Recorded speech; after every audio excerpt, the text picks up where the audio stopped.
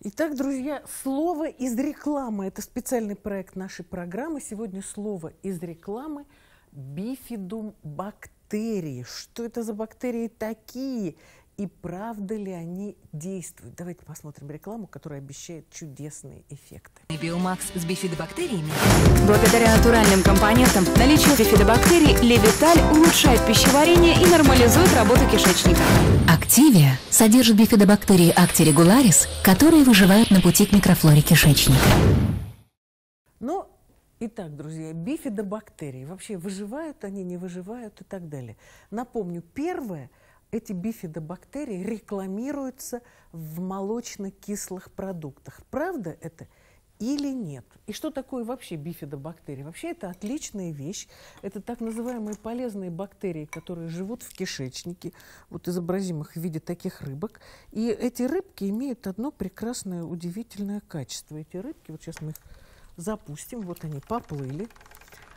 Так их прекрасное качество заключается в том, что рыбки эти чудесные, а именно бифидобактерии, защищают наш кишечник от всяких, хотела сказать, гадов, ну и гадов в том числе, потому что под гадами мы имеем в виду э, не что-нибудь, а всякие разные патогенные микробы. Вот они падают у меня прямо из рук, хвосты у них отваливаются, но мы все равно их внедрим в наш кишечник. Итак, бифидобактерии – Изучал ли вообще кто-нибудь молочные кислые продукты на предмет наличия в них бифидобактерий? Да, изучал. И в этом смысле мы должны сказать огромное спасибо гигантским компаниям, таким как Danone и другие, которые потратили огромные средства для того, чтобы выяснить, какие бактерии добавлять вот в эти молочно-кислые продукты для того, чтобы эти бактерии оставались живы. Потому что ситуация простая. Когда любой микроб попадает в наш кишечник, он гибнет из-за того, что э, желудочный сок – это суперкислый раствор. Он в миллионы раз кислее и опаснее, чем, например, уксусная эссенция концентрированная. Итак, исследования были проведены, они были проведены по всем правилам доказательной медицины. Это были двойные слепые плацебо-контролируемые исследования. И было показано, что а, есть классы бактерий, которые выживают, и только их надо использовать в молочно-кислых продуктах. И было показано, что вот эти милые микробы, они действительно обладают защитными действиями. Ну, первое, какие бактерии и что должно быть написано на этикетке. Их есть три класса. Это бифидум бактерии, это лактобациллы казы. И чтобы убедиться, что они здесь есть, вот тут на этикетках, мы вам сейчас крупно покажем на экране, вы должны прочесть надпись, что количество бактерий 10 в седьмой. А, эта надпись имеет аббревиатуру КОЕ колоний, образ... КОЭ, колонии, образующие элементы. Вот эти колонии, образующие элементы, должны быть в количестве 10 в седьмой степени – если здесь это написано, и это именно такие бактерии, значит, вы пьете то, что надо. В одном из исследований, которое проводилось в разных странах мира, участвовала, в России, участвовала Россия. Это было исследование детей.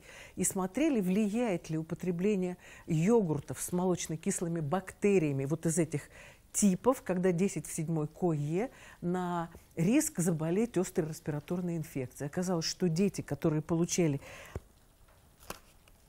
два-три вот таких флакончика в день, они на самом деле болели реже. Поэтому действуют ли молочно-кислые бактерии в молочно-кислых йогуртах? Ответ – да. Чтобы вы были убеждены, что вы купили то, что надо, должно быть написано коетеры 10 в 7.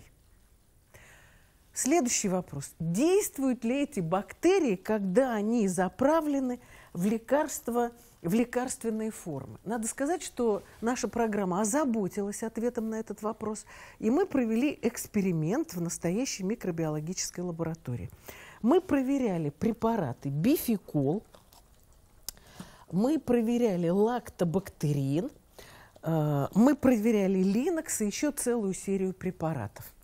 Что мы делали? Мы просто-напросто эти бактерии выращивали, а потом грубо говоря, заливали их кислотой, желудочным соком. То есть Так вот, после этого оказалось, что выживших практически не было. Единственное, у кого бактерии выживали, это был препарат Linux. Но если этот препарат давал обещание, что выживших будет 10 в седьмой, то реально мы обнаружили, что выживает в 100 раз меньше бактерий. А количество их принципиально важно. Вот у нас здесь выживало 10 в пятой. Поэтому вывод – в молочно-кислых продуктах эффективность доказана, во всем остальном для меня, например, под вопросом. Вот, собственно говоря, о чем я вас хотела предупредить. Так что слово из рекламы. Бифидобактерии в принципе хорошие, если написано КОЕ10 в 7, берите. Йогурты и другие молочно-кислые продукты.